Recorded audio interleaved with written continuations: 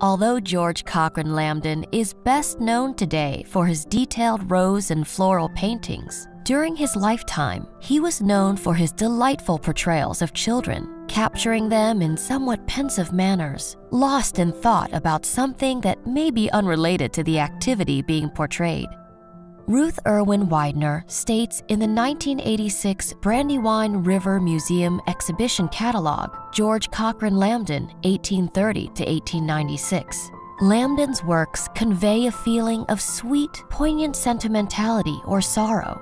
Although Lambdin's paintings typically portray carefree children pursuing leisure activities, in this painting, The Little Helper, the young girl appears, if not sad, then contemplative, consigned to a not particularly enjoyable task. Since Lambdin tended to portray children as little adults, perhaps this painting exemplifies this to a greater extent than some of his other genre works. He skillfully captures the bloom of youth, but tempers it perhaps with a bit of adult gravitas.